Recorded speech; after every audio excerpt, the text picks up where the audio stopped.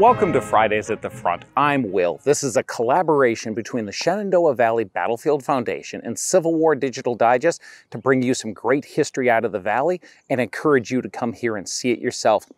I'm standing on the morning battlefield of Cedar Creek, October 19, 1864. For the days previous, Colonel Thoburn's division of the 8th Corps has been building earthworks along this line and fortifying themselves as best as they can. Now, this road wasn't here during the battle, but when it was put in, it was done carefully and the earthworks weren't disrupted, so it shows the line pretty well. And Colonel Thomas Harris's brigade is here, one regiment of Pennsylvanians and three of West Virginians. There's also Munk's Pennsylvania Artillery and Brewerton's Battery B of the 5th U.S. Artillery in this defensive position.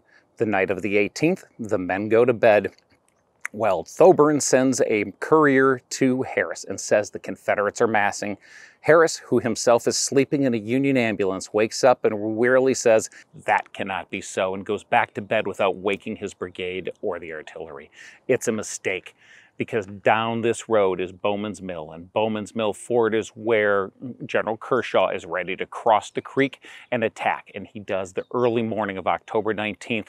It's gunfire from the Federal pickets that wakes Harris's brigade, and Bryan's brigade, which is under the command of Colonel James P. Simms, is part of Kershaw's assault, sweeps through this field up and they hit Harris and Munk and Brewerton's artillery.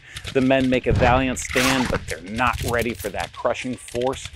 A Confederate writes that the Federals ran like chaff before the wind. Within 15 minutes, this position is compromised and the Union are falling back. Colonel Thoburn is killed in the retreat, and they end up several miles to the rear, which is where we'll find them later in the day. Well, for this morning position, the Shenandoah Valley Battlefield Foundation has done a lot of preservation and it has a lot of great partners here. You see a sign behind me by Civil War Trails.